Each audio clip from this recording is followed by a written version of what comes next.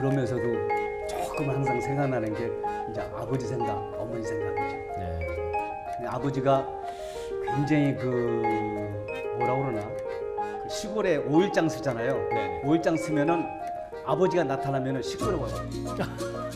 우리 아버지 운동도 많이 하시고 네. 약주도 좋아하셨기 때문에 운동도 많이 하고 그래가지고 대체는 시끄러운 거예요. 근데 저는 그런 아버지가 좋아요. 아버지 약주 하시고 계실 때 아버지 어미가 아버지 무엇이 오래요? 그러면 아버지 무엇이 가잖아요. 아버지가 딴 사람 많았는데 막내 아들 많은데 어 막내.